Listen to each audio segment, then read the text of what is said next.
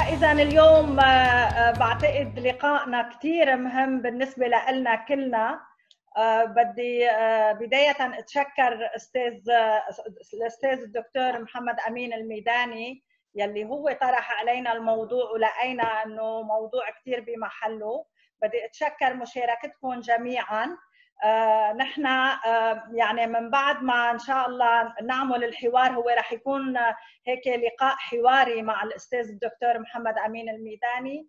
بآخر آه اللقاء رح يكون طبعا نفسح المجال لكل المشاركين لحتى يعملوا يطرحوا أسئلتهم ويعملوا مداخلاتهم. بس بدي اترجاكم لحتى نقدر نعطي فرصة للكل يطرحوا أسئلة ويعملوا مداخلات إنه نختصر بالوقت. يعني رح نحدد دقيقتين لكل سؤال أو لمداخلة. وشكرا واهلا وسهلا فيكم مرة ثانية فاذا انطلاقا من أهداف بسمة والمركز العربي حول حماية حقوق الإنسان وتحسين جودة حياته وتعزيز كرامته دون أي نوع من أنواع التمييز واستنادا إلى مبادئ الشرعه الدولية لحقوق الإنسان والمواثيق الدولية ذات الصلة وانطلاقا من مهمة بسمة التي تتلخص في الاستجابة الفورية للأزمات الإنسانية ومنها جائحة كورونا المستجد. رأت رأت مجموعة بسمة بالتعاون مع المركز العربي للتربية على القانون الدولي الإنساني وحقوق الإنسان ضرورة الالتفات إلى كبار السن حقوقهم وحمايتهم. إذ لا شك بأنه أكثر من تأثر بك... ب... أكثر من تأثر وكان عرضة بجائحة كوفيد 19 المستجد الذي تسبب لهم بالرعب والمعاناة في جميع أنحاء العالم سواء بالبلدان المتقدمة أو تلك النامية ضمن الدول العربية. لمناقشة هذا الموضوع نستضيف الأستاذ الدكتور محمد الأمين الميداني وهو غني عن التعريف المتخصص في مجال الحماية الدولية لحقوق الإنسان وهو رئيس المركز العربي للتربية على القانون الدولي الإنساني وحقوق الإنسان في فرنسا ستراسبورغ وهو أستاذ محاضر في جامعة ستراسبورغ وأستاذ وأستاذ زائر في جامعة الجنان طرابلس طبعا لبنان وله العديد من المؤلفات القيمة في مجال حقوق الإنسان والآليات الدولية والمنظمات الدولية والإقليمية وغيرها.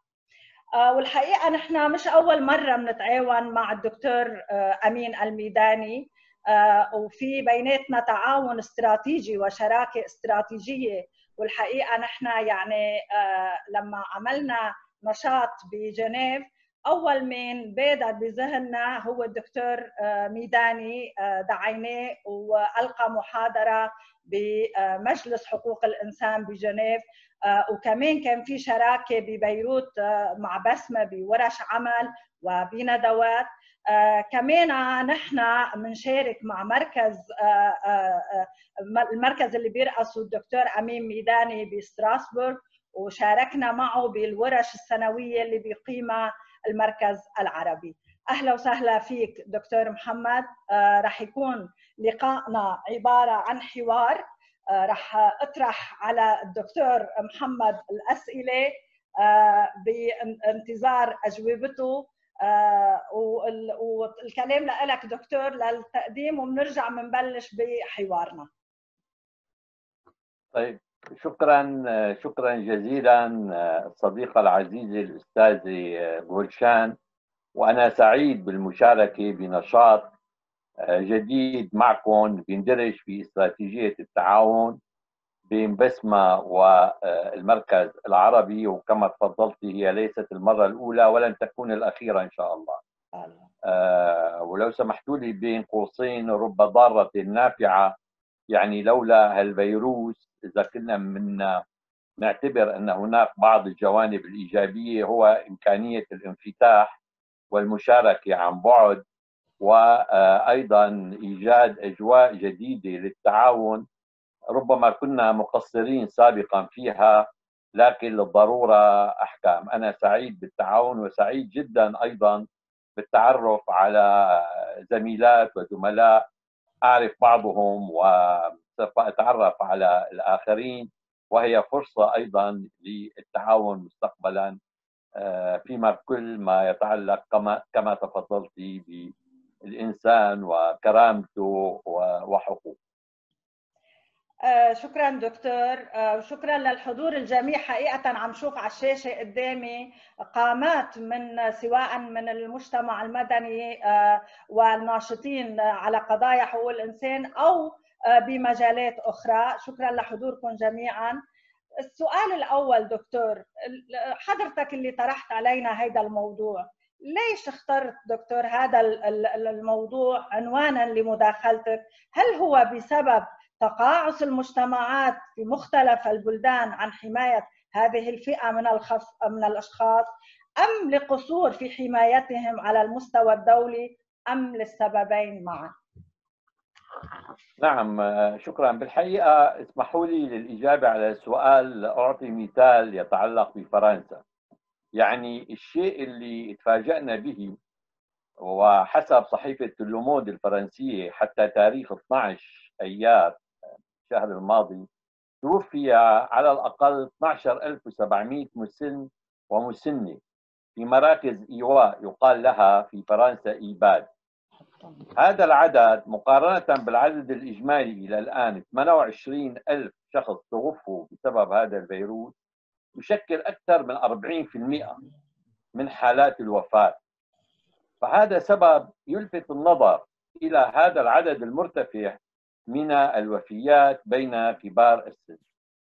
ثم لاحقا استمعنا لبعض الروبورتاجات والأحاديث التي دارت بين الأطباء في المراحل الأولى من المرض والفيروس وكانوا يتساءلوا بين بعضهم البعض حين كانت تصل يصل المرضى إلى المشافي.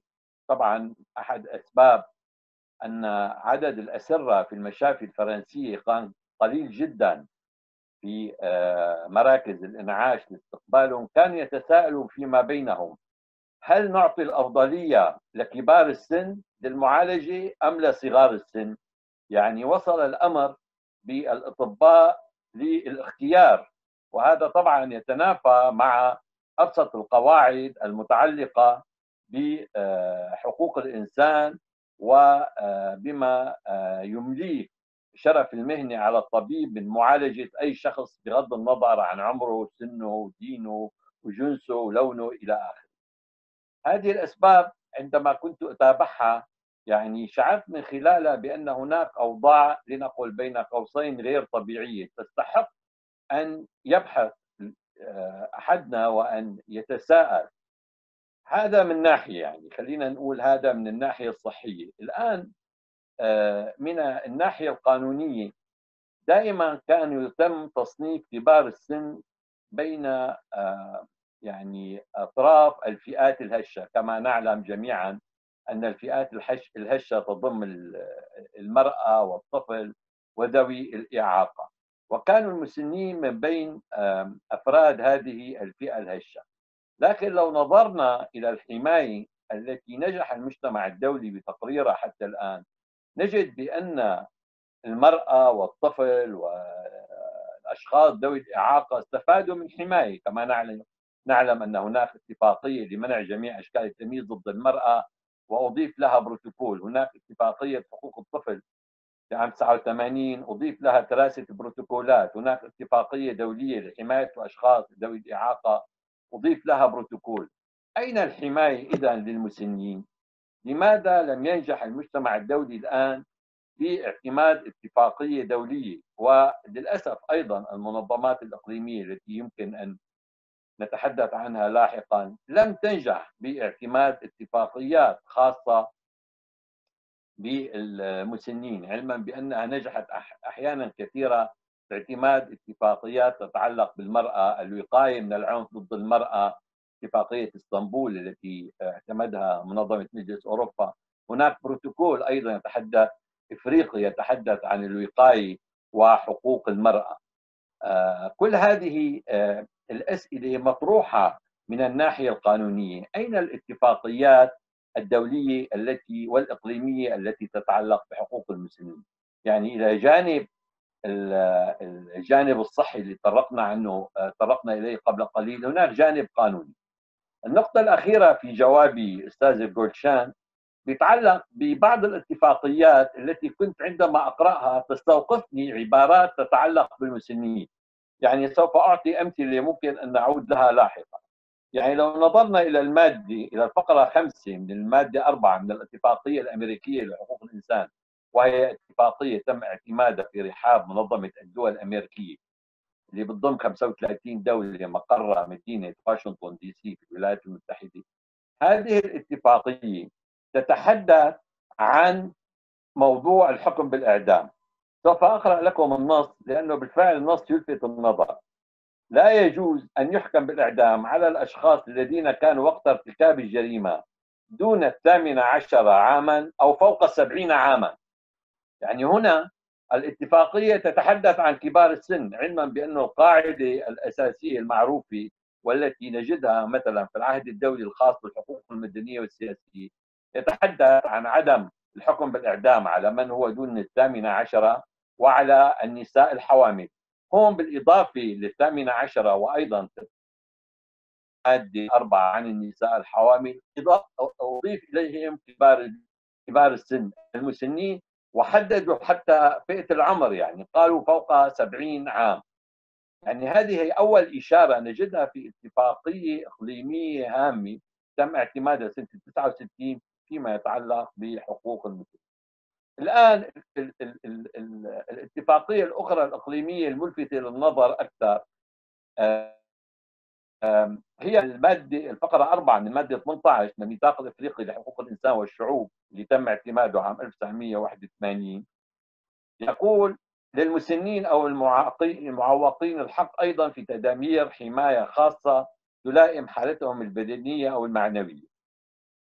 والأهم من ذلك الفقرة الأولى من المادة 29 من هذا الميثاق تتحدث عن واجب عن الواجبات وواجبات الفرد. الآن لو انتبهنا لهذه العبارة كيف أنها صيغت بطريقة بالفعل إنسانية بكل معنى الكلمة. من واجبات الفرد المحافظة على انسجام تطور أسرته والعمل من أجل تماسكها واحترامها كما أن عليه احترام والديه. لاحظوا هذه أول اتفاقية سواء على المستوى العالمي أو على المستوى الإقليمي تتحدث عن الوالدين. عليه احترام والديه وفي كل وقت وإطعامهما ومساعدتهما عند الحاجة. إذا هناك إحساس في المنظمات الإقليمية الاتحاد الإفريقي اللي اعتمد هذا الميثاق في منظمة الدول الأمريكية اللي اعتمدت الاتفاقية الأمريكية لحقوق الإنسان. هناك إحساس بالحاجة لحماية خاصة ومتميزة للمسنين. انطلاقا من هنا نجد بأننا أهملنا نحن هذا الوضع وهذا اللي دفعني سواء من الناحية الصحية أو القانونية أو على مستوى المنظمات الإقليمية أن أقترح هذا العنوان حتى يكون هناك نوع من الحوار والنقاش أو كما يقال عصف ذهني ومحاولة أن يلعب المجتمع المدني ممثلا ببسمة ومنظمات غير حكومية أخرى دوره في هالمجال. يعني لنفترض اعتماد مشروع إعلان لحماية كبار السن من منطلق غياب اي نص على المستوى على الساحتين الدولية والأقليمية. هذا بعجالة أستاذي جولشان الأسباب اللي دعتني إني أقترح عليكم هذا العنوان. معلومات قيمة شكرا لك بدي كمان مسي معالي الوزير السابق الياس حنا مع الدكتورة نورما وطبعا الجميع ويا جماعة بدي أقول لكم سر أنه أنا أستاذ محمد ودكتور محمد هو أستاذي فأنا بشعر برهبة أنا وعم حاور وما تفكروا القصة سهلة لإلي. آه رح روح ل... رح روح لس... للسؤال الثاني دكتور محمد.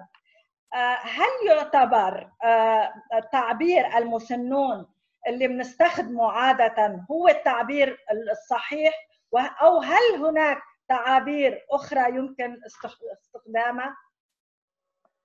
يعني في الحقيقة في عدة تعابير لكن حتى نكون دقيقين ولدينا مرجعية قانونية اسمحوا لي أن أذكر هنا التعليق رقم ستة الذي اعتمدته اللجنة المعنية بالحقوق الاقتصادية والاجتماعية والثقافية. مثل ما بنعرف كلنا أنه هناك تم اعتماد عهدين العهد الأول آه، عام 1966 بعنوان العهد الدولي الخاص بالحقوق المدنية الاقتصادية والاجتماعية والثقافية ولبنان مصادق عليه والعهد الدولي الخاص بالحقوق المدنية والسياسية.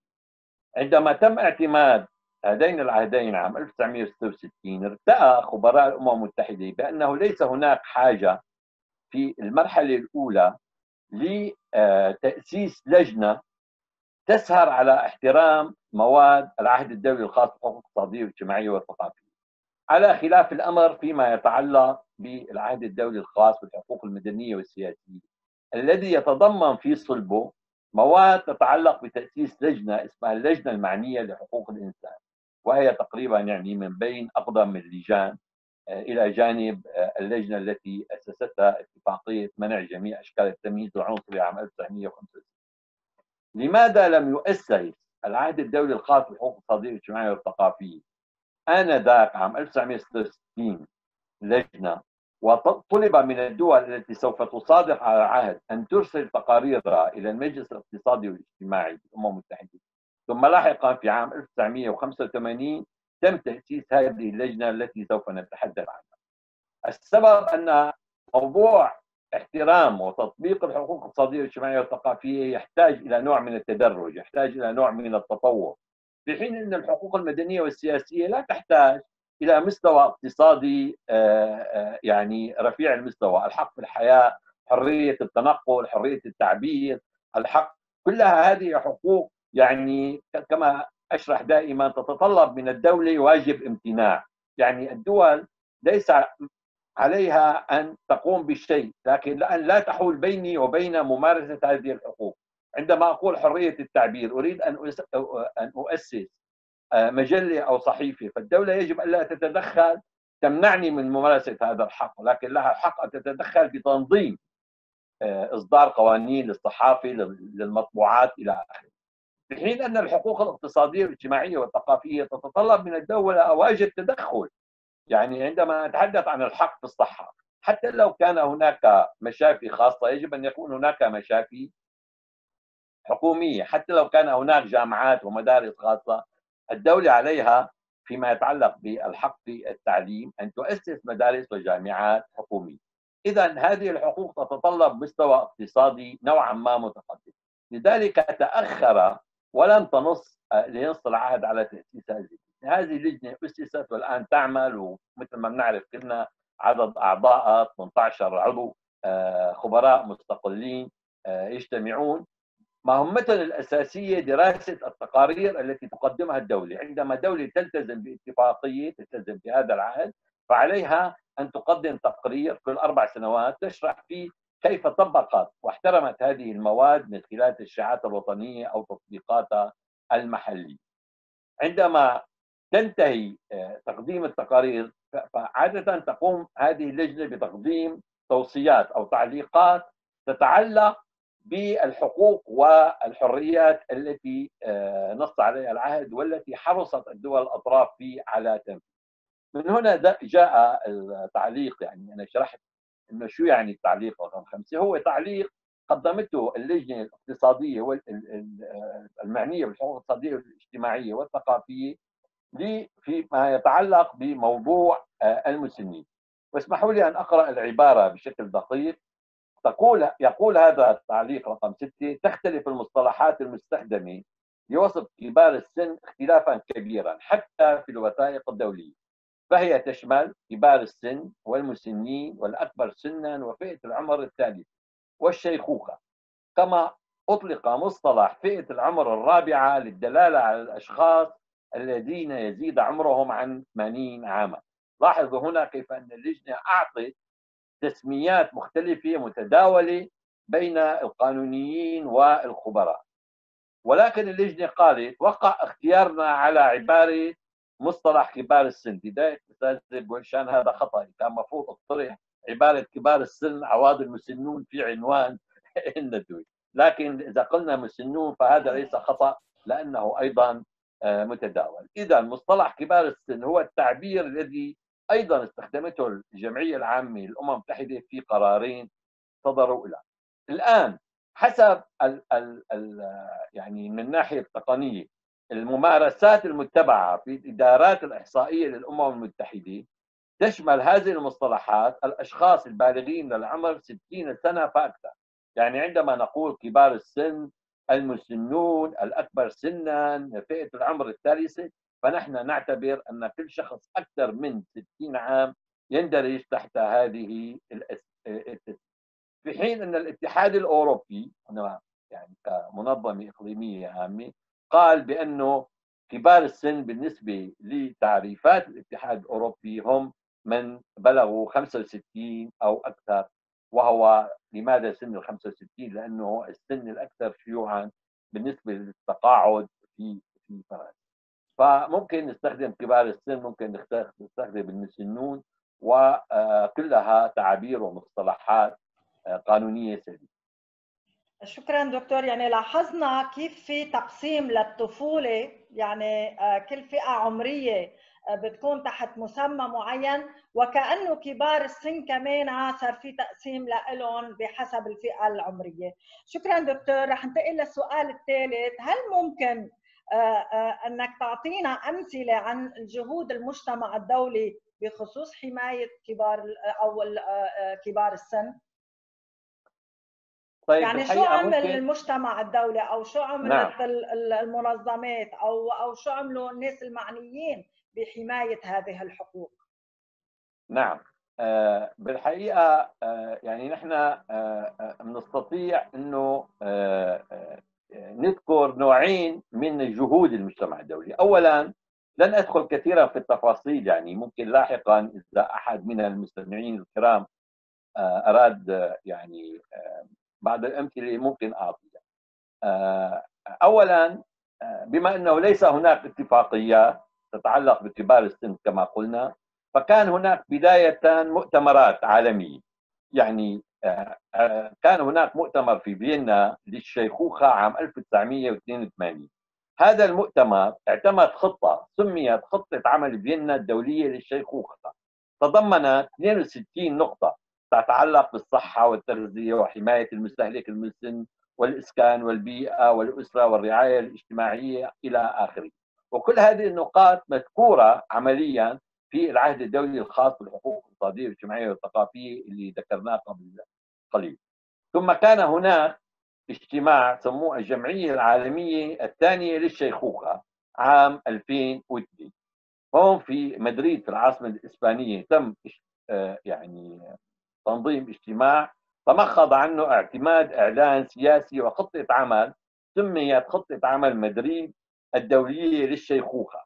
وهذه الخطة تسعى في آه، عدة مجالات للتركيز على آه، الأمور الصحية وموضوع الرفاهية وموضوع الحقوق المتعلقة بالأشخاص المتواجدين في مرحلة الشيخوخه.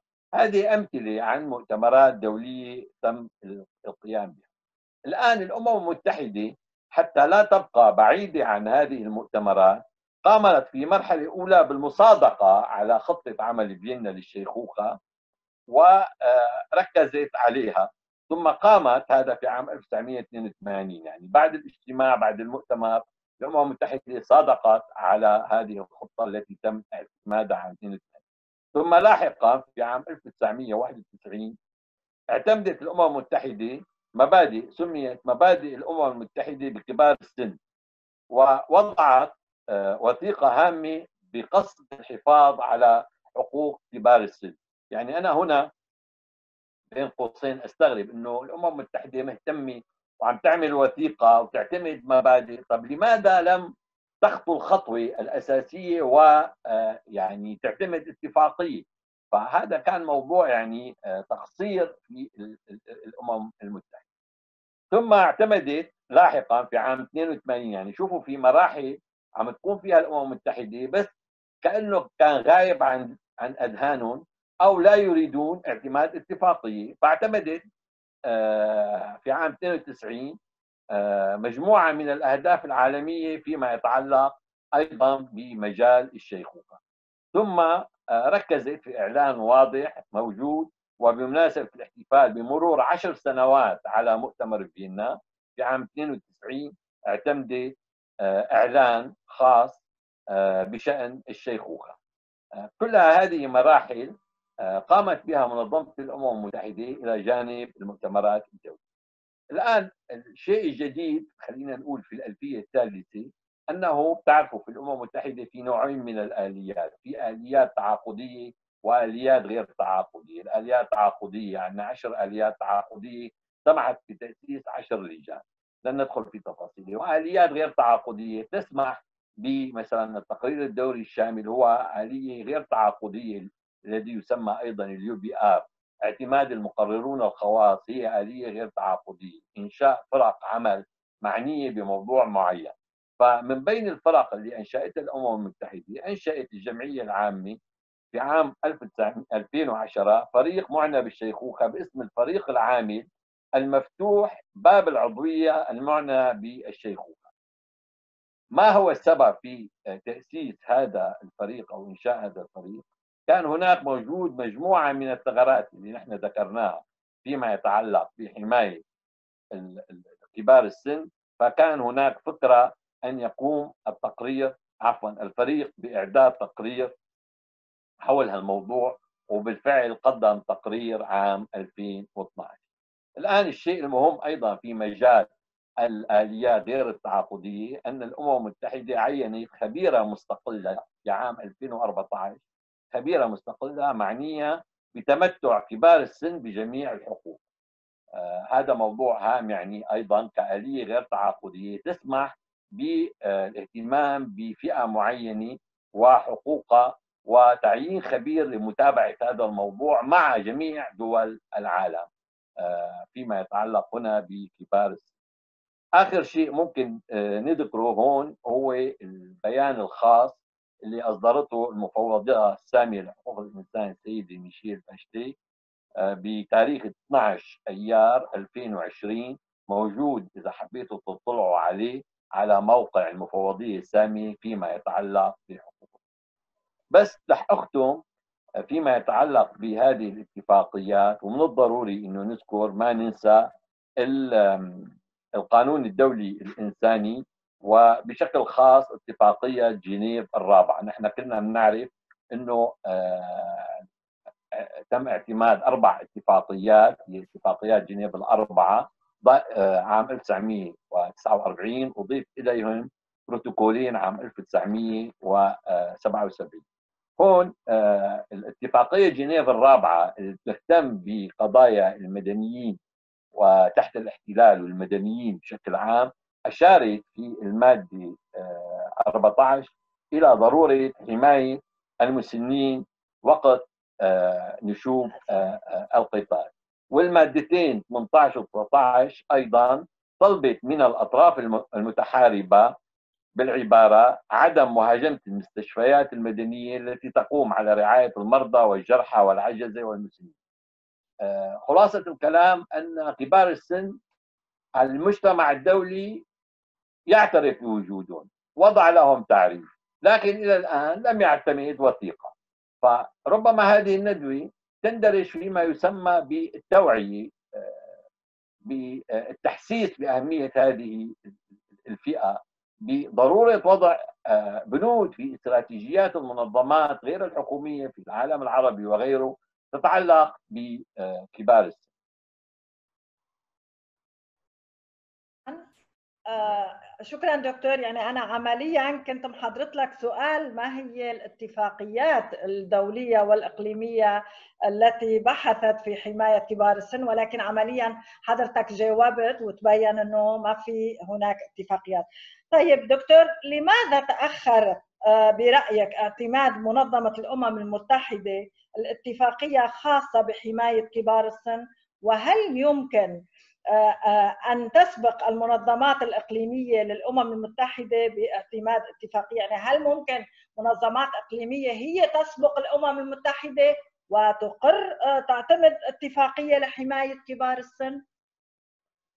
أنا أعتقد بأنه المجال مفتوح آه، للمنظمات آه، الإقليمية لإعتماد مثل هذه الاتفاقيات، بس اسمحي لي إني أذكر بأنه حاليا في مجال الاتفاقيات الخاصة بحقوق الإنسان توجد خمس منظمات إقليمية، طبعا أقدمهم في التاريخ هي جامعة الدول العربية اللي تم تاسيسها نعم جامعة الدول العربية تم تاسيسها 1945 هذا لا يعني بأنها الأكثر فعالية ولكن تاريخيا هي الأقدم على المسرح الدولي يعني.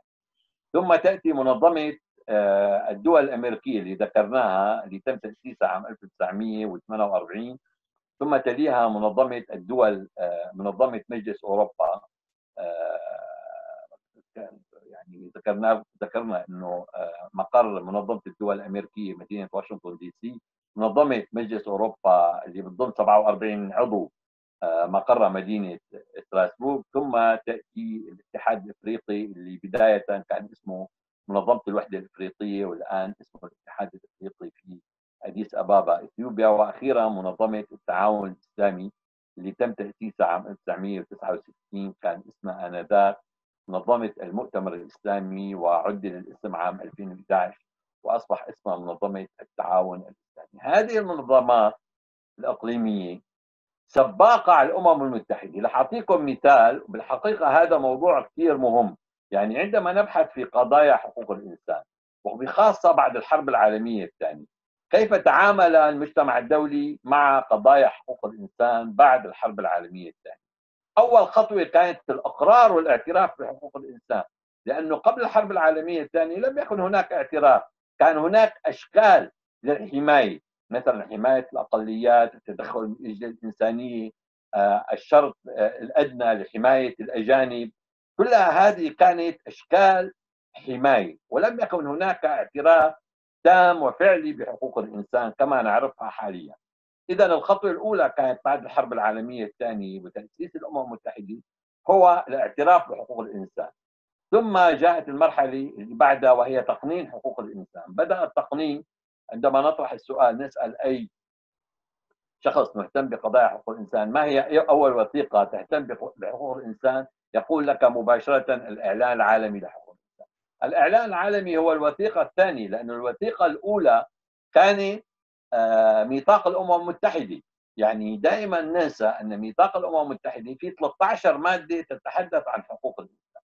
اذا بدأنا باعتماد الميثاق بتقنين حقوق الإنسان وثم جاءت المرحلة الثالثة هي مرحلة اعتماد آليات للسهر على تطبيق أحكام آه، آه، آه، الاتفاقيات. الإعلان العالمي لا يوجد فيه آلية مجموعة 30 مادة مبادئ أساسية في مجال حقوق الإنسان فجاء اعتماد الاتفاقيات لاحقا بآليات للسهر على حسن تطبيق أحكام حقوق الإنسان.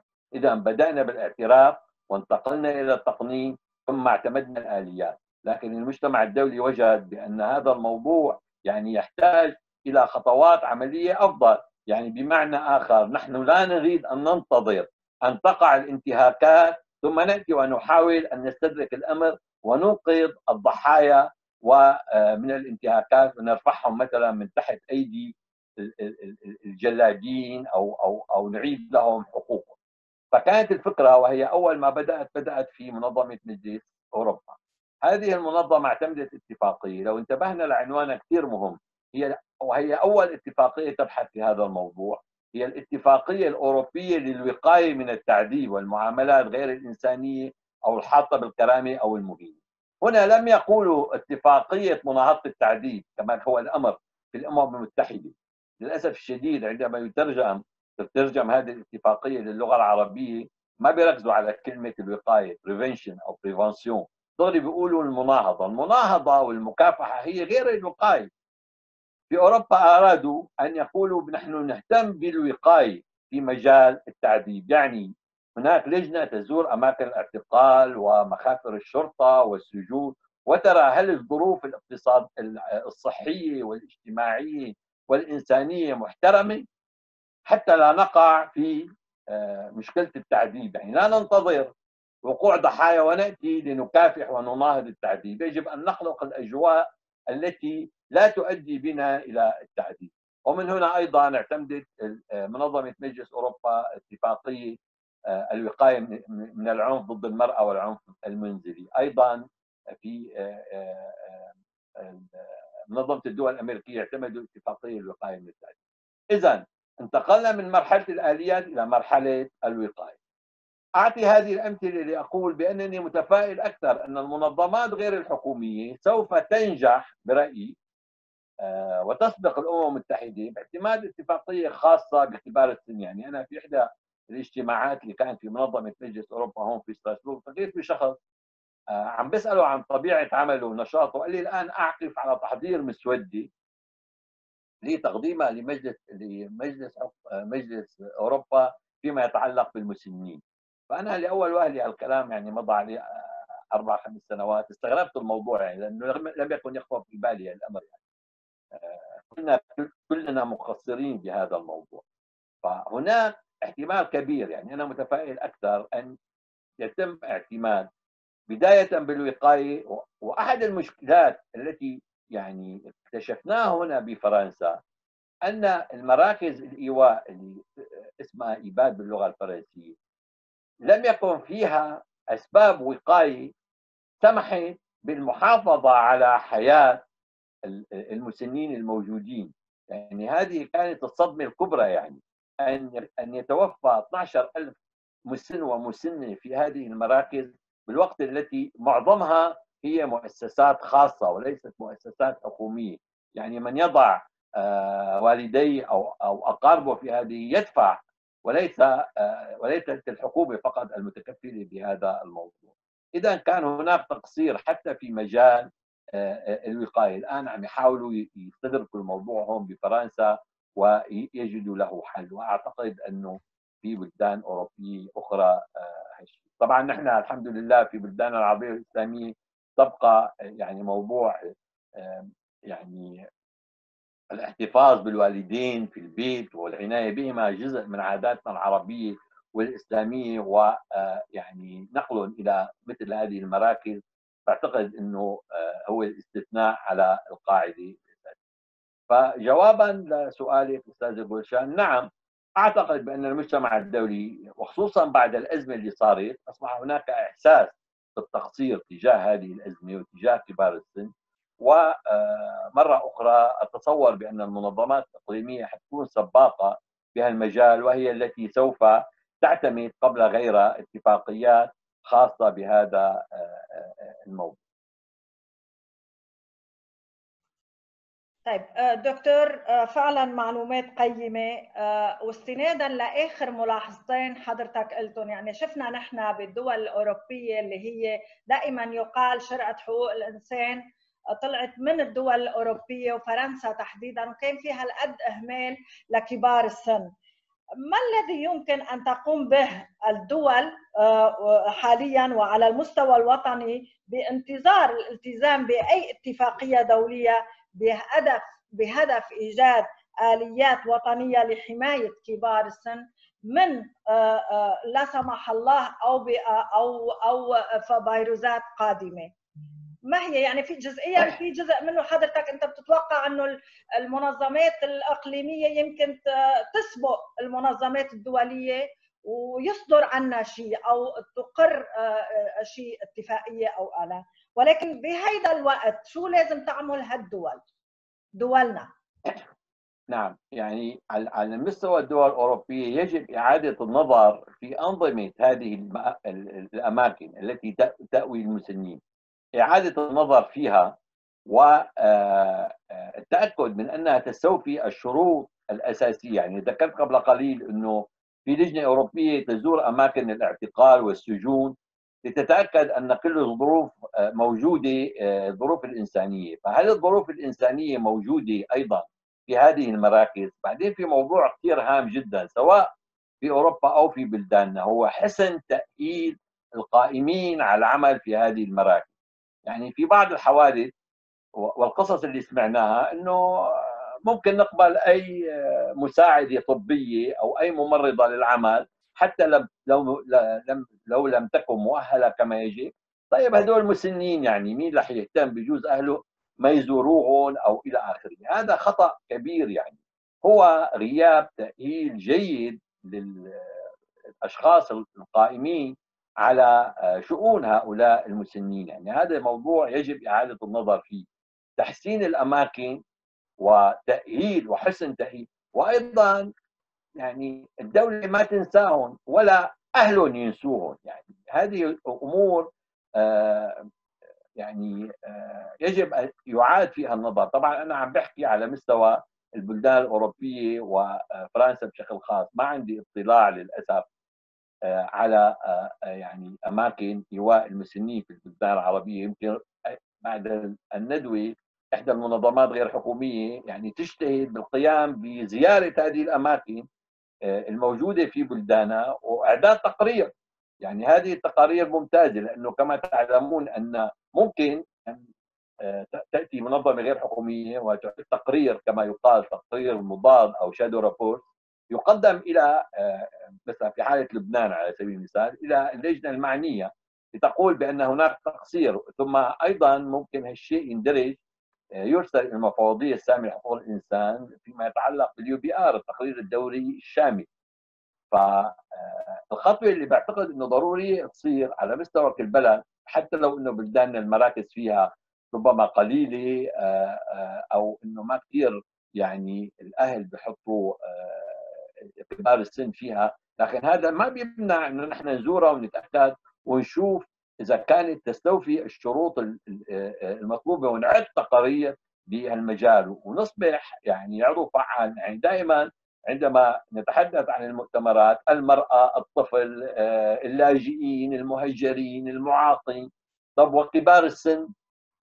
يعني آه، صار من المفروض آه، الآن أنه نهتم فيهم لأنه يعني لعبوا دورهم في مجتمعاتنا وأدوا واجباتهم ومن المفروض على الأقل يعني أن ينهوا السنوات الأخيرة من عمرهم بعز وكرامة وبشكل آه، يعني نكون في أوفياء أوفياء له فهذا موضوع يعني مهم إنه يعاد النظر به وهنا ربما اسمحوا لي اوجه دعوة للمنظمات غير الحكومية اللبنانية العاملة في هذا المجال على أن تهتم بهذه الفئة بكبار السن وتزور الأماكن المتواجدين فيها وتعد تقارير آه، خلينا نطلع على آه، اوضاعهم واحوالهم ونعرف هل على الأقل آه، يعني يستفيدون من الحد الأدنى من معاملة آه، إنسانية لائقة بعمرهم و بحياتهم.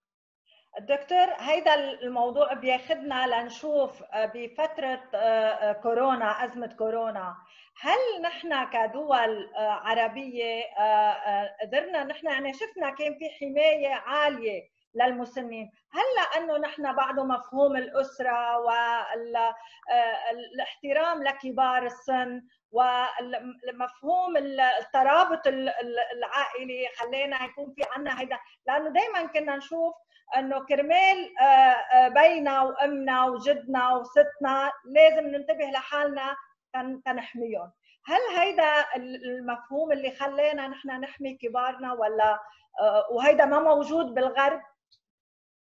نعم أنا أتفق معك تماما. غير موجود في الغرب على الأقل بالصورة اللي نحن عايشينها. ومرة ثانية وثالثة الحمد لله على عاداتنا العربية وعاداتنا الإسلامية اللي بتهتم بكبار السن وأحيانا في بعض البلدان تقدس كبار السن آه، يعني لدرجة أنه لهم مكانتهم آه، الغالية والعزيزة آه، اجتماعيا وفي قلوب وفي قلوب أهلهم وأنا تقصدت إني أعطيكم مثال ودائما بذكره يعني قبل قليل كنت أناقش أحد طلابي في الجامعة موضوع الخصوصية وعالمية حقوق الإنسان. يعني عندما نجد ميثاق اتفاقية إفريقية تتحدث عن احترام الوالدين، هذا الشيء في عام 1981 ما أحد خطر في باله يحكي عنه. طيب هذا الكلام من أين أتى؟ أتى من عادات إفريقية هي عادات عربية آه، إسلامية إفريقية أملت على آه، من حرر الميثاق الإفريقي الإشارة إلى الوالدين فهذا موضوع كثير مهم فنحن الحمد لله بلداننا العربية الإسلامية لا نزال بخير من هالناحية هي بس يجب أن نكون أيضا مستعدين يعني أحيانا الأمور بتضطر الإنسان لظروف خاصة وخصوصا الآن بالأوضاع الاقتصادية الصعبة إنه مضطر فترة زمنية معينة يحط حدا من الوالدين بهالمراكز طب قبل ما أحطهم أنا مو من المفروض إني أتأكد بإنه المكان لائق بهم ولو كانت الفترة الزمنية قصيرة. فهذا موضوع مهم يعني آه، علينا أن نستفيد منه. يعني الآن خلينا نقول ويمكن تطرحي علي سؤال إنه يعني شو استفدنا أو الدروس المستفادة من الازمه هي أحد هذه الأمور يعني. هيكون سؤالك الأخير. هيدا سؤالي الأخير دكتور. آه ماذا بعد؟ يعني هيدا يمكن سؤال بديهي. ماذا بعد؟ ما هي الدروس المستفادة؟ والتي يمكن أن تساعدنا مستقبلا على تجنب الوقوع بهيك أنا بعتبرها عن جد نوع من المجازر اللي صارت بحق المسنين ببعض البلدان. لتجنب هذا الأمر شو لازم ينعمل؟ يعني العمل بده يكون على ثلاث مستويات على المستوى الوطني كما قلت نعيد النظر بالتشريعات المتعلقة بكبار السن وحمايتهم واحترام انسانيتهم و آه، آه، يعني زيارة أماكن المأوى اللي بيوجدوا فيها. ثم على المستوى الإقليمي إنه نجتهد يعني نحن أنا ما كثير متفائل إنه ممكن جامعة الدول العربية تعتمد اتفاقية بهالمجال في شيء أو لا يعني. ما اعتمدته جامعة الدول العربية لكن بعتقد إنه على المستوى الإقليمي بمنظمات أخرى ممكن نجد اتفاقيات حول هالموضوع. وهناك تقصير يعني أنا خليني أقول عنه فاضح في الأمم المتحدة حول هذا الموضوع. يعني إلى الآن لم يتم اعتماد اتفاقية علما بأنه كما ذكرنا في البداية كبار السن من الفئات الهشة. طب اهتمينا بالمرأة والطفل وذوي الاعاقه كلهم عناصر مهمة وأساسية ولها الأولوية في مجتمعاتنا. لكن وكبار السن أيضا فهذا الموضوع يعني أعتقد بأنه يجب إعادة النظر فيه إعادة النظر بهيك مواضيع آه، وهنا أعول على على المجتمع المدني ككل وعلى عنصرين أساسيين في المجتمع المدني. المنظمات غير الحكومية ووسائل الإعلام. يعني لو اهتمينا لو اهتمت وسائل الإعلام يعني كم روبورتاج في الصحف العربية عن كبار السن. كم روبورتاج عن مراكز المأوى الخاصة بهم من من الصحفيين اهتم يتابع الموضوع آه، عن كثب يعني؟ بالإضافة إلى دور المنظمات غير الحكومية. فبعتقد أنه الدروس المستفادة هو أننا اكتشفنا أننا مقصرين سواء على المستوى الوطني أو الإقليمي أو الدولي. والشيء اللي لازم نساويه هو أن نعود ونراجع تشريعاتنا الوطنية. ولو سمحت لي أخيرا أن أنهي بعبارة هي ضرورة الاهتمام بمفهوم الوقاية. يعني يجب أن لا ننتظر أن نكتشف أن هناك عدد كبير من المتوفين في المآوي التي تضم المسنين. طالما أننا سوف نهتم بمفهوم الوقاية ونحرص على أن المراكز الموجودين فيها على الأقل متوافر فيها الشروط الأساسية والإنسانية للحفاظ على حياتهم وعلى كرامتهم وعلى آه، يعني آه، مشاركتهم حتى وهن بهذيك المراكز بالحياة العامة. شكرا دكتور أنا قبل ما نبلش نفتح المجال للمداخلات من الحضور الكريم بحب من هيدا المنبر دكتور من هيدا اللقاء اعلن بأنه نحن مع أنه كبسمه جروب اختصاصنا مش مسنين وأنا بؤمن بالتخصص ولكن نظرا للي مرقنا فيه وللي شفناه آه، بقترح وطبعا مستشارنا القانوني معنا بالويبينار آه، بعلن إنه نحن كبسمة رح نقترح آه، طبعا تنشوف شو هل هو إعلان نشتغل على إعلان لحماية كبار السن لنشوف كيف الآلية يمكن نستشيرك دكتور ميداني ومستشارنا القانوني كمان ينصحنا بشو التوجه آه، لحتى نمضي بهذا الموضوع لأنه فعلا في نقص كبير بهذا الموضوع. آه، فاذا هلأ رح نفتح مجال للنقاش. في عندكم طريقتين للمداخلات. بتحبوا تعملوا مداخلة مباشرة عبر الفيديو أو عبر بث الصوت أو فيكم تكتبوا كتابة على الشات ونحن بنوصل السؤال للدكتور أمين. حاليا في عندنا دكتور نورما وعندنا الآنسة سمر العشي. رح نبلش مع الدكتور نورما. تفضلي دكتورة.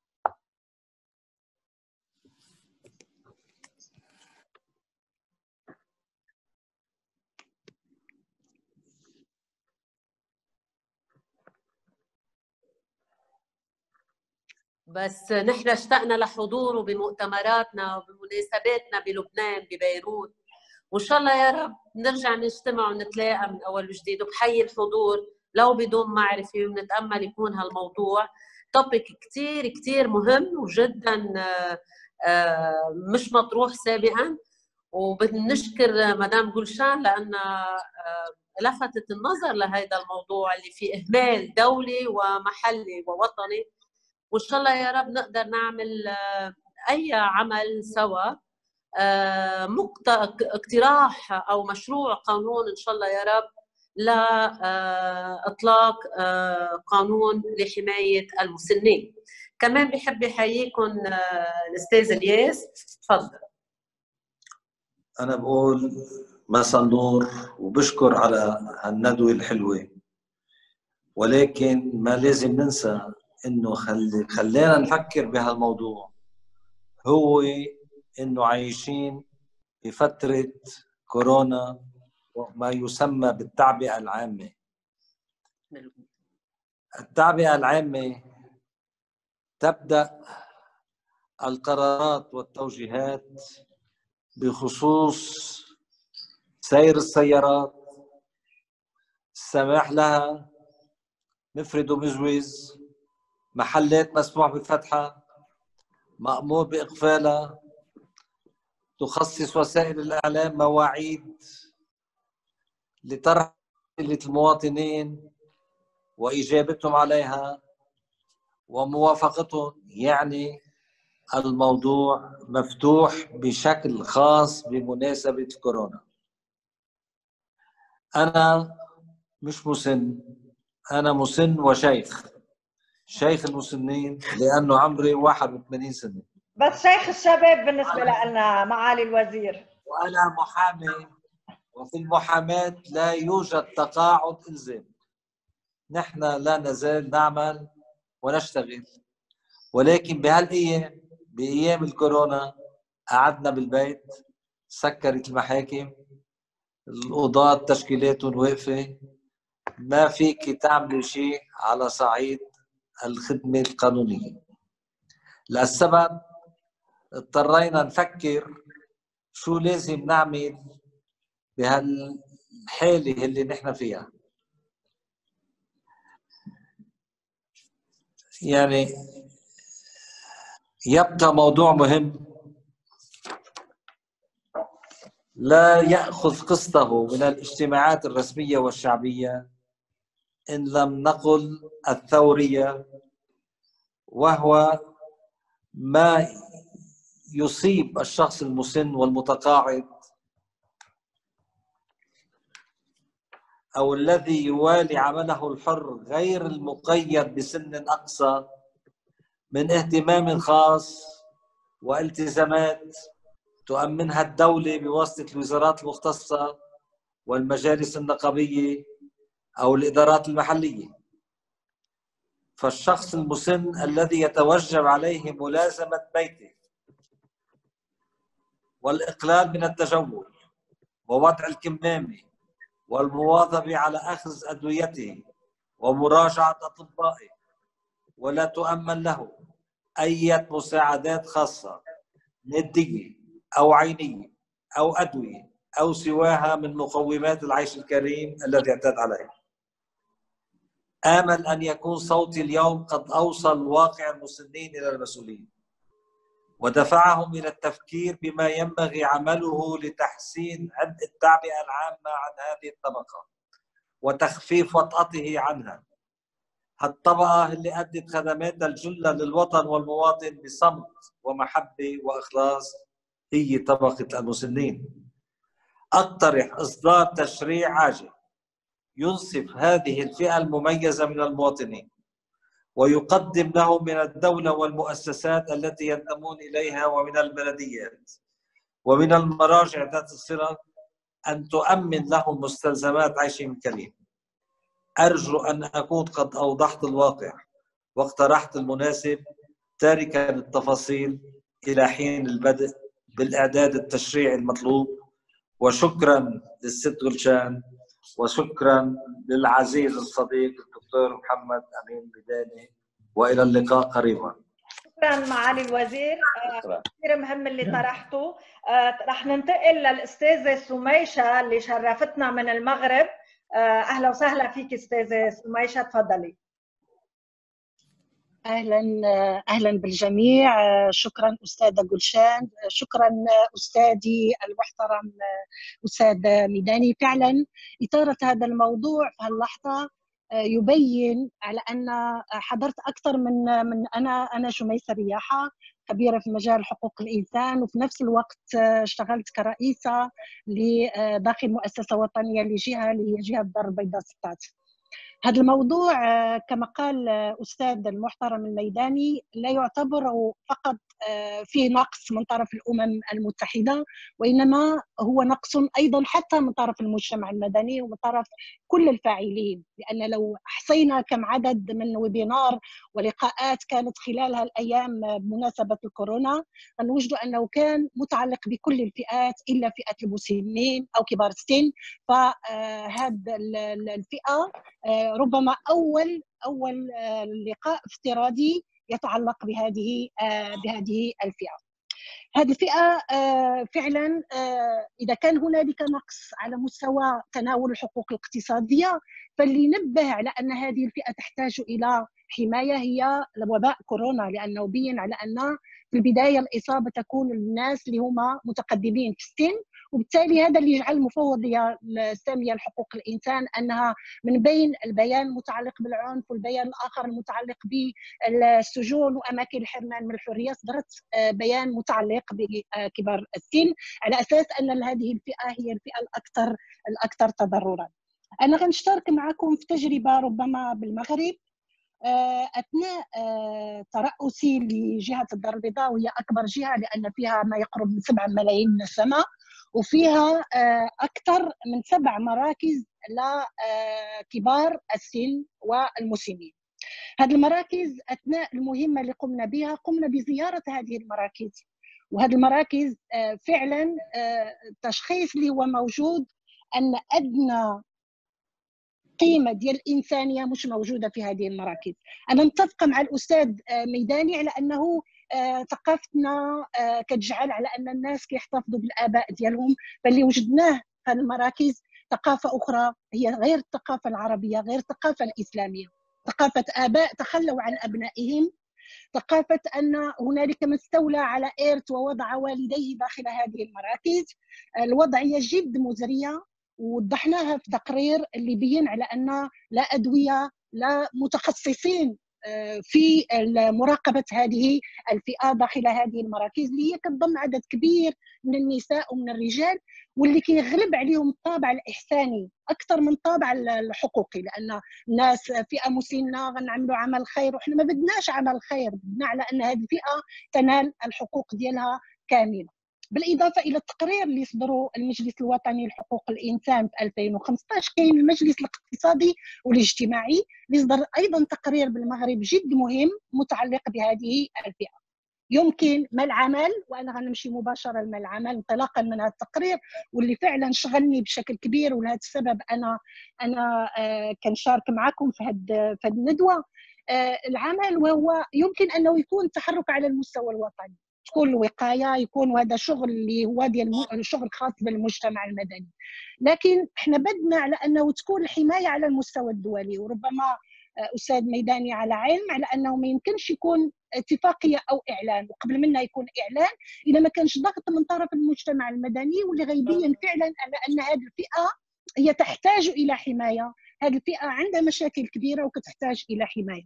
الآن فيه أكثر من دولة صدقات على البروتوكول الاختياري الملحق بالعهد الدولي الملحق باتفاقية مناظرة التعديل وهو كيعطي الصلاحية لهذه الآلية أنها تزور أماكن الحرمان من الحرية. وفي لبنان كاين مصادقة في المغرب صادقات أيضا على هذا البروتوكول وهذا كيجعل على أن دور الآلية أنها تقوم بزيارة هذه الأماكن وإعداد تقارير اللي ممكن أنها فيها الوقاية ولكن فيها أيضا التخطيط للحماية دور المجتمع المدني كبير. الضغط من أجل أنه يكون قوانين محلية ولكن أيضا الحضور في الملتقيات من خلال يوبير من خلال الآليات اللي صدرهم اللي تحدث عليهم الأستاذ ميداني أنه في المحافل الدولية ضروري أنه يكونوا تقارير موضوعاتية خاصة بهذه الفئة. نشير لهم داخل كل كل التقارير اللي ممكن أننا نعرضهم لأن هذه الفئة فعلا آه، فئة آه، كتحتاج الحماية.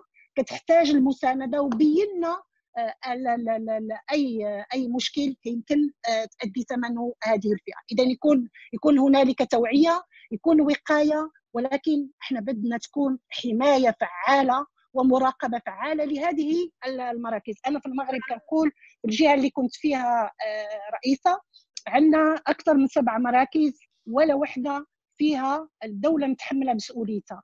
فقط بعض المنظمات وبعض الناس اللي هم محسنين كياخذوها من الجانب الإحساني. إحنا بدنا على أن هذه الفئة تتمتع بحقوقها كاملة آه، كباقي الفئات الاخرى اللي هي كثير مهم آه ولكن لنعطي المجال شكرا. غير. إيه شكرا كثير أستاذة شميسة. فعلا اللي قلتي كثير مهم. دكتور ميداني رح أعطيك المجال تجاوب على الأسئلة اللي انطرحت وبعدين بننتقل لأستاذ بيير جعارة. من بعد جواب حضرتك. طيب شكرا شكرا جزيلا.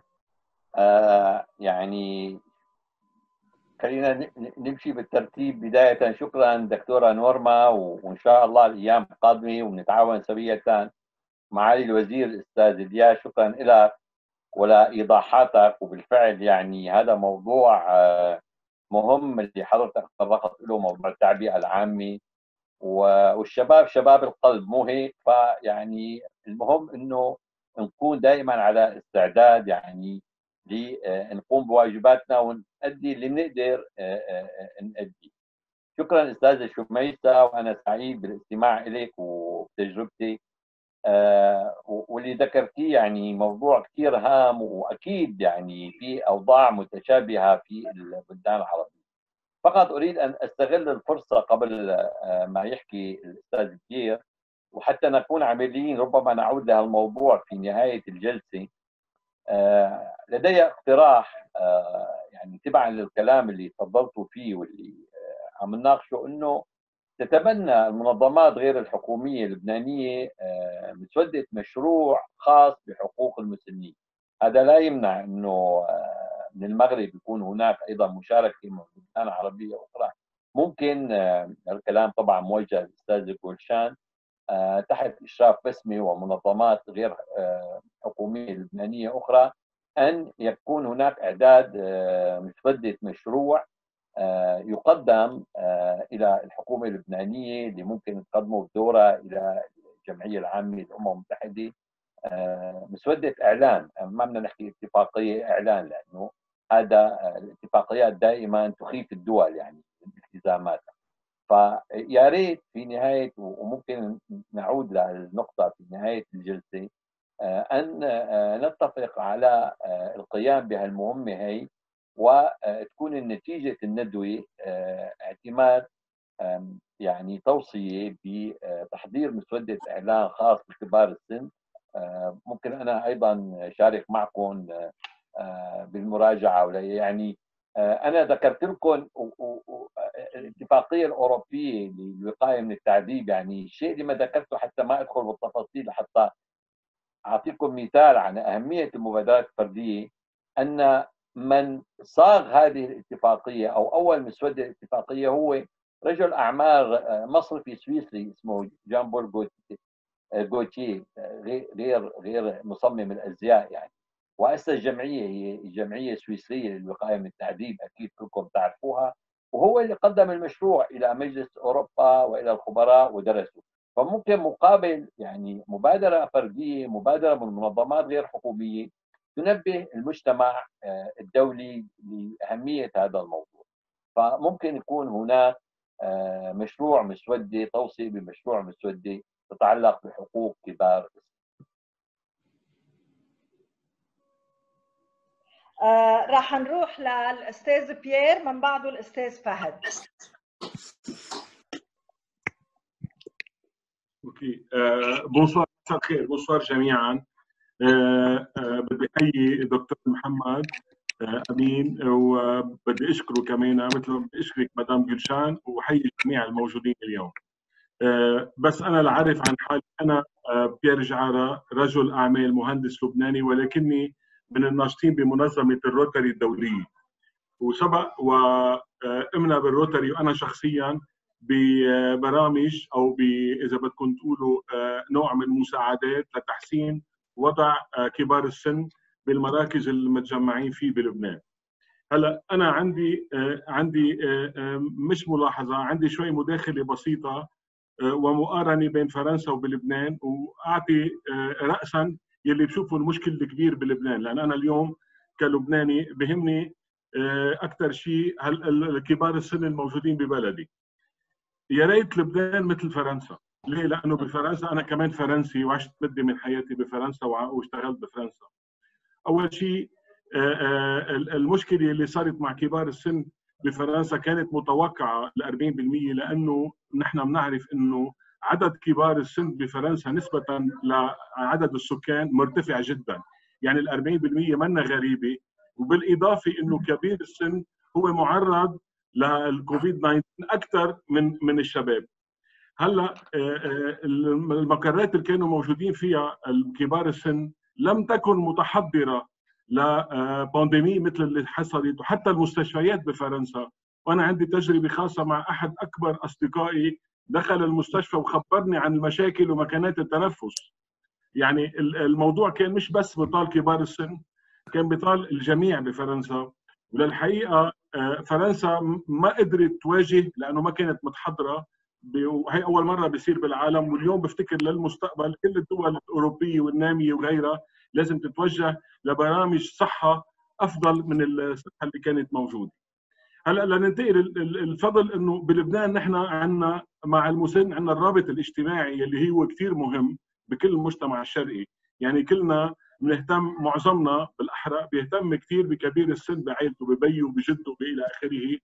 هالشيء منه كثير متواجد ببلدان الغرب ولكن بلدان الغرب محميين بقانون العمل. نحن اليوم ما عندنا بالقطاع الخاص بلبنان ما في شيء اسمه راتب تقاعدي للعمال. يعني المسن لما بيطلع بسن التقاعد اللي هو 64 سنة بلبنان بياخذ تعويض نهاية الخدمة يلي بيستحي يقول قديش بس حد ال 5 ل 10000 دولار مش أكثر من هيك. وبده يقضي كل باقي حياته. ما عنده إعالة وما عنده تغطية كمان ما عنده تغطية صحية. بينما اليوم الأوروبي عنده راتب تقاعدي كل حياته وعنده راتب صحي بما فيه إنه هيدا الشيء بيقدر يسمح له للكبير السن إنه يروح يقعد بمركز ويحترم كل حياته ويخدموه لأنه عنده راتب وعنده مدخول. بلبنان هالشيء منه موجود. إذا ما كانوا أهله قادرين يهتموا فيه وبده يحطوه بمأوى لازم يدفعوا عليه وإذا ما حطوه بمكان لنفترض مدعوم بوزارة الصحة بكون مكان يرسى له ما بعرف إذا حدا منكم زار محلات اللي هي مجانية اللي كمان نحن بالروتري بنشتغل كثير وبنساعد كثير بهالأماكن هيدي. ولكن أنا برأيي وكمان مدام المغرب كانت عم تحكي بقوانين خاصة لحماية المسنين بكل بلد بحسب حاجته. نحن اليوم أهم حاجة نقدر نعملها إنه يتطور بقانون العمل وهيدا مع وزارة العمل يلي كان في مشاريع قوانين ما وصلت للنهاية. يلي هو عوضا عن إنه يكون في تعويض نهاية الخدمة لكل موظف عندما ينتقل إلى فترة التقاعد يكون عنده معاش تقاعدي لحمايته لآخر حياته. أنا بتشكر شكرا أستاذ بيير. آه رح ننتقل للأستاذ فهد ومن بعده للأستاذة مها. تفضل أستاذ فهد. شكرا دكتور ميداني. شكرا جولشان. أنا سعيد إنه أنا أكون بين هاي المجموعة من الخبراء من الأساتذة بمجال حقوق الإنسان. أنا فهد من سوريا مقيم بلبنان. طبعا أنا في سؤال عندي. أول شيء بالبداية أقول إنه إحنا نحمد الله سبحانه وتعالى على هاي النعمة الموجودة عندنا إنه إحنا نهتم بكبار السن. جدنا وستنا وإلى آخره. بس سؤالي إنه كيف يمكن لمنظمات المجتمع المدني الوطنية أو الإقليمية بالعمل على حماية المسنين باعتبار إنه جامعة الدول العربية إنه هي من المنظمات أو الكيانات اللي أقرت هاي المسألة. كيف ممكن إحنا نفعل دورها وشو هي الآلية بظل هذا الفساد اللي تعيشه أغلب الحكومات العربية وخاصة بموضوع الاهتمام بالقطاع الصحي اللي اللي أظهر عجزه الكبير جدا أمام هاي الحالات الصحية الموجودة.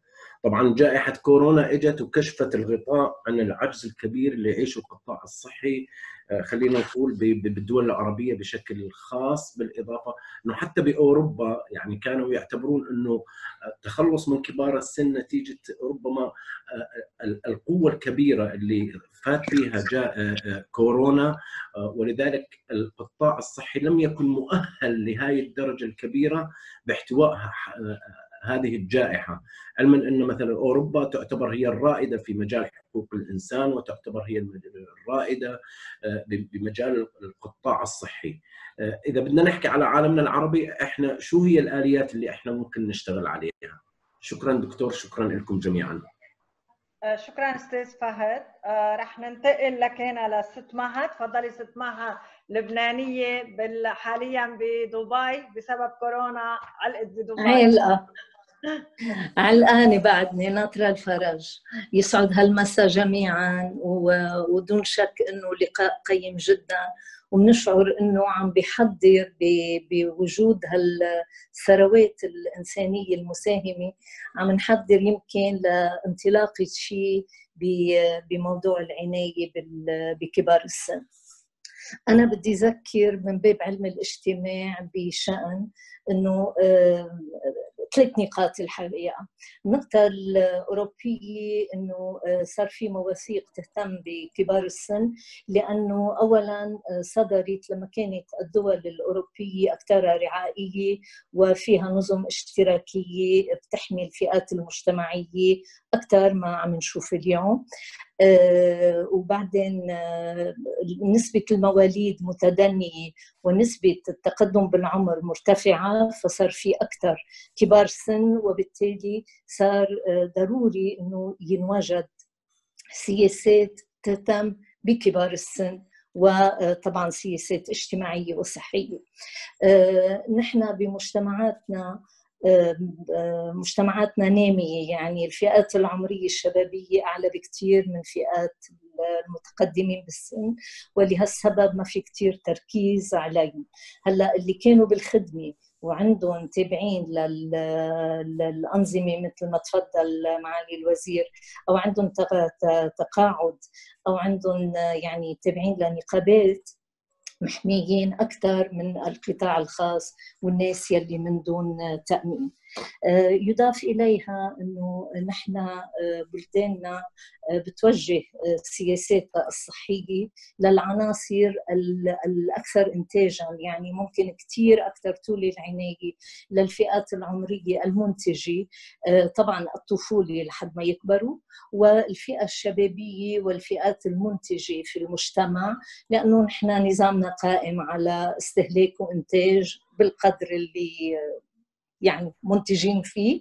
كمان ما ننسى إنه نحن في عنا الشباب اللي مطلوب منه إنه يقوم بالأعمال اللي اللي بتسند الفئات الأخرى من زراعة وصناعة وخدمات.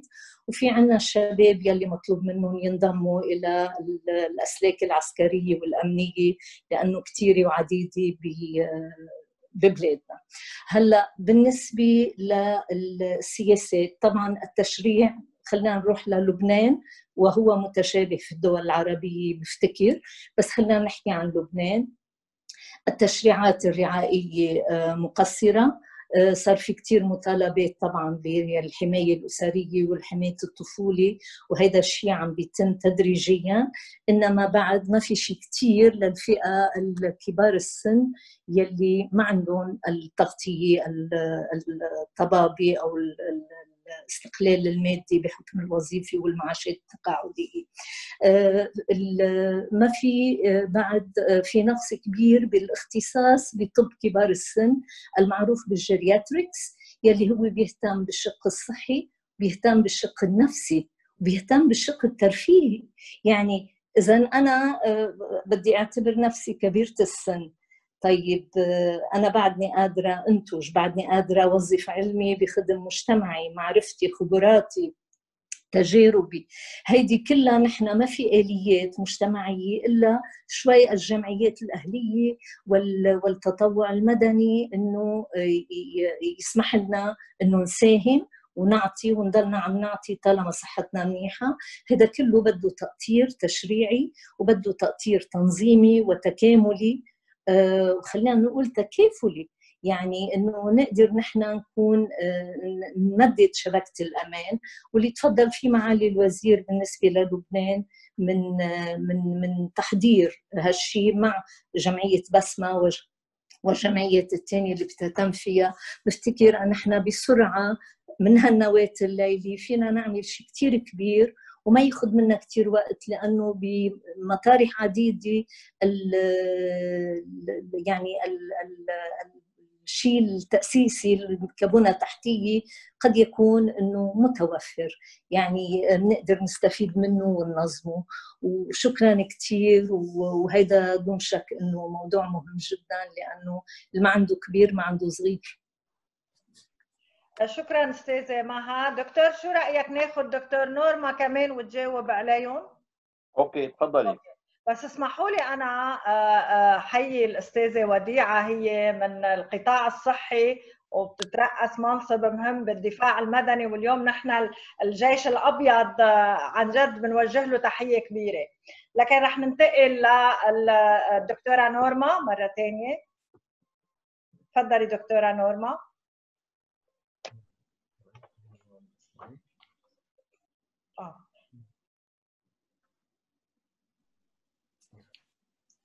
دكتورة نورما عم تسمعينا؟ مشكلة صوت طيب دكتور امين إذا بتجاوب لبين ما آه، لبين ما تحضر الدكتوره نورما. أوكي. ألو. أيوه آه سمعانيني هلا تفضلي. تفضلي دكتورة.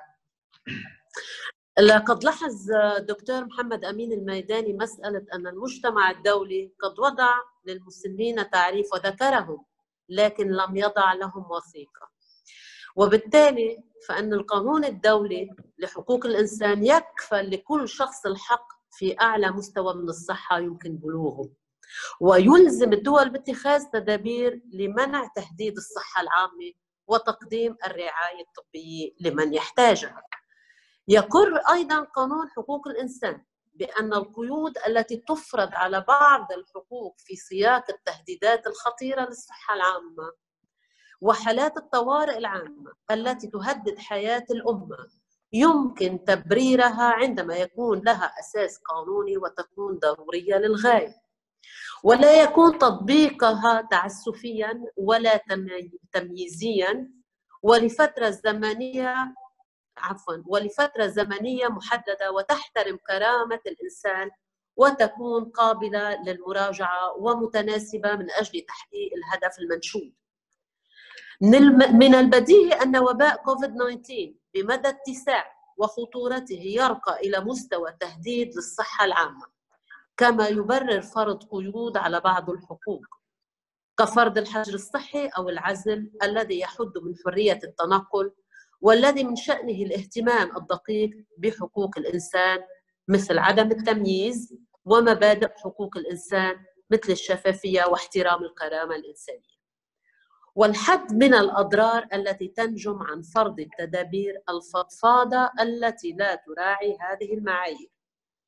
كوفيد 19 مثل الأمراض المعدية الأخرى يشكل خطرا أكبر على الأشخاص الذين يعيشون على مسافة قريبة من بعضهم البعض. يؤثر بشكل غير متناسب على كبار السن والأشخاص الذين لهم أمراض مثل أمراض القلب والأوعية الدموية والسكري والأمراض التنفسية المزمنة وارتفاع ضغط الدم. وهون بحب شير إلى إنه بالصين 80% من الذين توفوا بسبب كورونا كانوا يفوقون سن ال 60 سنة. آه، في دور الرعاية وغيرها من الأماكن التي تأوي أعدادا كبيرة من كبار السن. هنا ينبغي أن توازن شروط الزيارات بين حماية النزلاء المسنين والأكثر عرضة للخطر من جهة وحاجاتهم إلى العائلة والتواصل من جهة أخرى. وهنا نجد أن أيضا أن وزارة شؤون المحاربين القدامى الأمريكية قد اعتمدت سياسة منع الزيارات لدور الرعاية لمواجهة خطر كورونا. هذه الإجراءات تبقى غير كافية. وجب مراعاة الحالة النفسية للمسن ومتابعتها خلال الأزمة وبعدها. وتكثيف الرعاية الصحية أسوة بالمرضى الذين يعالجون في المستشفيات. وتأمين الأدوية والمعالجة النفسية اللازمة. وبذلك يجب إصدار تشريعات لبنانية خاصة للحظ مسألة ورعاية والاهتمام بالمسن وذكره سواء كان من أصحاب المهن الحرة. عفوا. كون المحامي والمهندس آه، لا يتقاعد إلا عند رغبته في التقاعد ويبقى أنا بعرف اللي عم تحكيه كثير مهم ولكن نحن عندنا وقت محدد رح يقطع الويبينار. مشان هيك؟ كثير اللي عم مهم بعرف بس مضطرين آه، لحتى يلحق له للدكتور يجاوب. تفضل دكتور إذا طيب شكرا شكرا لكل المداخلات. آه، لحتى لو سمحتوا ب آه، اللي تفضل فيه مسيو بيير وعرج على اللي قالته الأستاذة مها. يعني أنا أتفق معك تماما آه، أستاذ بيير باللي تفضلت فيه. فيما يتعلق بالأوضاع بفرنسا وتوصيفك وتوصيف زميلك هناك المريض آه، يطابق فعلا آه، الواقع ويعني هذه أمور ممكن في المستقبل ينكتب عنها. وإشارتك لموضوع غياب التشريعات في لبنان يعني هذا شيء يعني محزن. وبعتقد بس مو بس بلبنان وفي دول أخرى مثل ما سمعنا أيضا في في المغرب. والشيء بيخليني أيضا إني اصل لكلام الاستاذه مها كلام هام وأساسي ولفت نظري موضوع آه، التخصص بالنسبة لكبار السن وموضوع أيضا مشاركتهم في الرفاهيه والوزير يعني كيف ممكن نقبل لهم الوسائل. وهون اسمحوا لي أعطي مثال إنه آه، بفرنسا في نظام اسمه الجامعات الشعبية. هي جامعات تؤسسها جمعيات روادها آه، عدد كبير منهم من كبار السن اللي آه، راحت عليه مثلا فرصة تعلم بعض اللغات تعلم بعض الحرف أو الهوايات. فهناك اهتمام بهذا الموضوع وبعتقد هو بصب في اللي قالته الاستاذه مها كيف أيضا نهتم فيهم ليس فقط من ناحية صحتهم الجسدية والنفسية ولكن أيضا آه، مساعدتهم على أن آه، يعني يستفيدوا من أوقاتهم ويجدوا آه، وسائل أو طرق للتسلية واللهو تتناسب مع أعمارهم وأوضاعهم الصحية. آه، بدي جاوب الأستاذ فهد واقول له يعني سؤالك في محله أنا تطرقت نوعا ما لهالموضوع عندما تحدثت عن دور المنظمات غير الحكومية يعني أن يكون هناك إعداد تقارير تقدم تقارير الظل shadow report سواء إلى اللجان المعنيه أو فيما يتعلق بالتقرير الدوري الشامل ال UPR تتحدث عن كبار السن يعني. نهتم بهم وأن يكون هناك آه، زيارات آه، لهم يعني. أنا ربما أنا مقصر يعني بس بعتقد إنه آه، نادرة جدا التقارير التي تقدمها المنظمات غير الحكومية تقارير قائمة بذاتها. فيما يتعلق بكبار آه، السن ربما يكون هناك في فقرات وهذا بيخليني أضيف أيضا دور وذكرته قبل قليل لوسائل الإعلام للتنبيه لهالموضوع يعني فمن الضروري أن تهتم وسائل الإعلام بهذه القضية واللي تفضلتوا فيه كلكم آه، تكون مادة تحقيقات ورابورتاجات صحفية متعلقة بالموضوع. مداخلتك الدكتورة نورما يعني عززت وأضافت على اللي على اللي أنا قلته. ومثل ما تفضلتي يعني هناك أشكال مختلفة للحماية. والقانون الدولي لحقوق الإنسان يحمي كبار السن كونه يعني مذكورين كإنسان وكأفراد وكأشخاص يحميهم. لكن الشيء اللي اردت أن ألفت النظر انه إنه في بعض الفئات لها حماية عامة ولها حماية خاصة المرأة الطفل ذوي الإعاقة العمال المهاجرين اللاجئين. فلماذا فقط كبار السن لم يحظوا بهذا الاهتمام؟ فقط هي هذه هي ملاحظة. لكن إذا نظرنا إليهم فهم أيضا تندرج عليهم كل اتفاقيات الأمم المتحدة كونه انهم إنسان بغض النظر عن أعمارهم وبغض النظر عن أوضاعهم الصحية. شكرا دكتور أمين. يعني كل اللي حقيقة مداخلاتكم كمان يعني أغنت اللقاء. بالإضافة إلى دكتور أمين ميداني والمادة اللي قدمها جدا مهمة قانونية حقوقية على إنسانية. فبتشكركم جميعا. بنهاية اللقاء بحب أعلن أرجع. بأنه صار في اقتراحات من معالي الوزير الياس حنا ومن دكتور ميداني ومن من عدة أشخاص من أستاذة مها من أستاذ فهد من من الكل بأنه يكون في مشروع اقتراح مشروع قانون لحماية كبار السن. فنحن بنقول كبسمة رح نبادر ونسعى ونتعاون مع أي جهة بدها تساعدنا لنقترح مشروع قانون لحماية كبار السن. مجددا بتشكركم على أمل إنه نوصل لوقت ما نضطر كل يوم نفتح موضوع لفئات معينة بحماية حقوقها. شكرا جزيلا.